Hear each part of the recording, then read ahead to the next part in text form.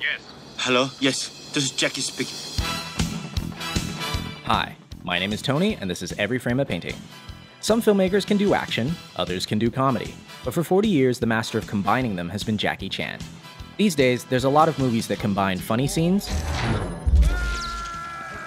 with fight scenes. But even when the movie's good, the comedy and action seem to be two different directors and two different styles. And that's why Jackie's so interesting. In his style, action is comedy, and his work shows that the same filmmaking principles apply, whether you're trying to be funny or kick ass. So let's dive in. If you'd like to see the names of the films as I'm talking, press the CC button below. Ready? Let's go. So, how does Jackie create action that is also funny? First off, he gives himself a disadvantage. No matter what film, Jackie always starts beneath his opponents. He has no shoes, he's handcuffed, he has a bomb in his mouth. From this point, he has to fight his way back to the top. Each action creates a logical reaction. And by following the logic, we get a joke. In movies, this comedic style goes back to the silent clowns like Chaplin, Lloyd, and Keaton. But I think Jackie has distilled it down to one line of dialogue. Please! I said I don't want trouble! Because he's the underdog, Jackie has to get creative, which brings us to point number two. He uses anything around him.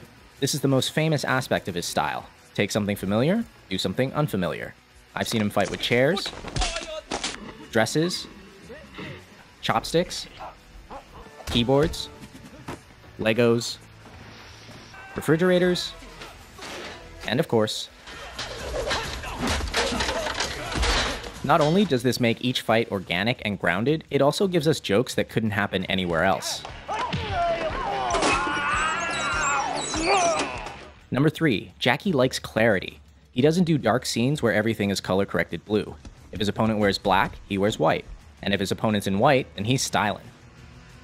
His framing is so clear that in every shot, he's setting up the next bit of action. Here, even though we're watching the stuntman, two thirds of the frame is the staircase. A few seconds later, we see why.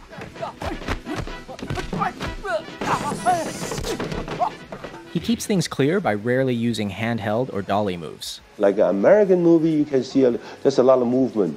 When the, the camera angle movement, that means the actor, they don't know how to fight. In slow motion, you can see how the camera operator swings around to make the hits seem more violent. But since Jackie can fight,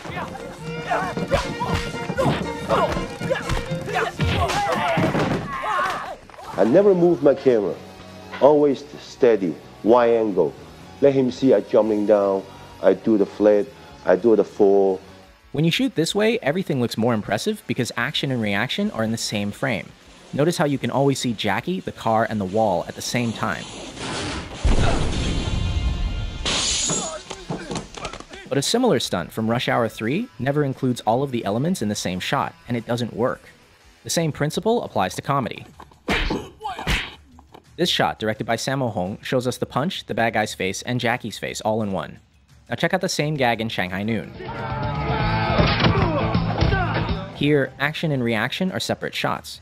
It kinda works, but not nearly as well. Why don't more directors do this? Because of number 5. They don't have enough time. Jackie is a perfectionist, willing to do as many takes as necessary to get it right. And in Hong Kong, he's supported by the studio, which gives him months to shoot a fight. And the most difficult thing is when I throw the fan and coming back, more than 120 tick. Those kind of scene, oh, Jackie, good. It's not good. You can do it. Except, do you have the patience or not? When I rewatch his work, these little things are the ones I'm most impressed by.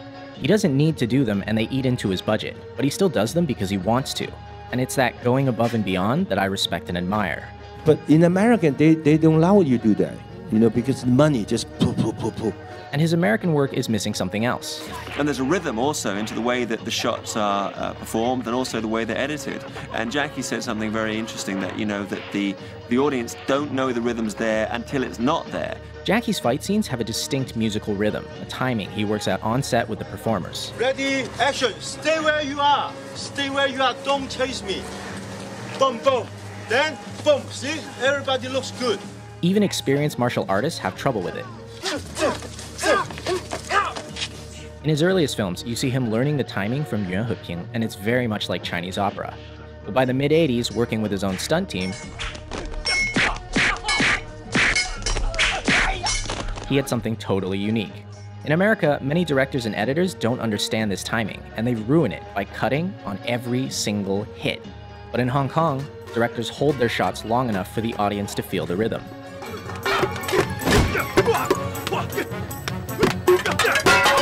The most important part is editing.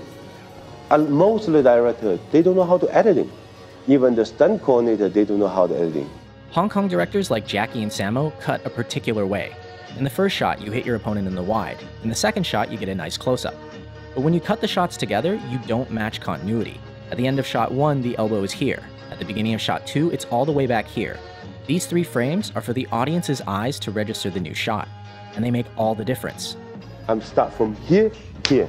But two shots combined, this is zone. That's power. In other words, show it twice, and the audience's mind will make it one hit that's stronger. By contrast, modern American editing doesn't show the hit at all. At the end of shot 1, the leg is here. At the beginning of shot 2, it's in the same place, going backwards. But because they cut at the exact frame of the hit, it doesn't feel like a hit. A lot of people think this is because of the PG 13 rating, but even R rated films do this now. It looks like a bunch of people flailing around, instead of a bunch of people getting hurt.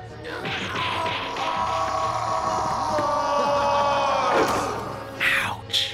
Which brings us to number 8, Pain. Unlike a lot of action stars who try to look invincible, Jackie gets hurt. A lot. Half the fun of his work is that not only are the stunts impressive,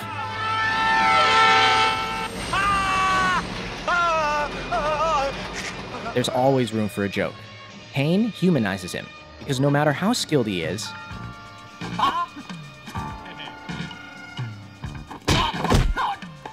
he still gets smacked in the face. In fact, Jackie's face may actually be his greatest asset.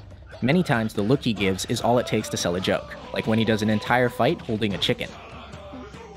Or dressed as Chun Li.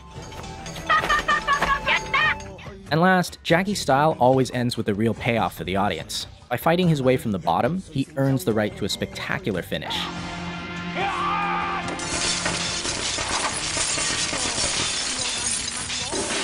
He doesn't win because he's a better fighter, he wins because he doesn't give up. This relentlessness makes many of his finales really impressive and really funny. And it's in direct contrast to a lot of his American work, where bad guys are defeated because someone shoots them.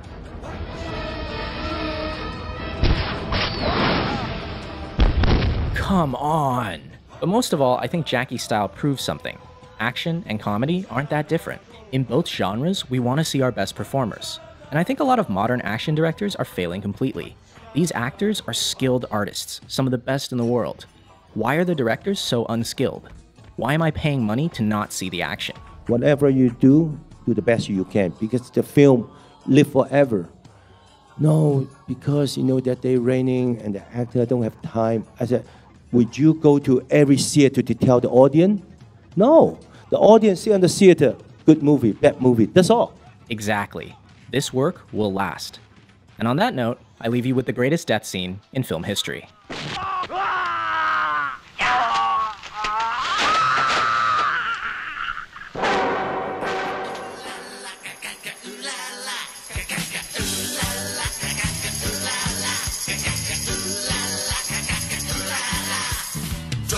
的乡愁。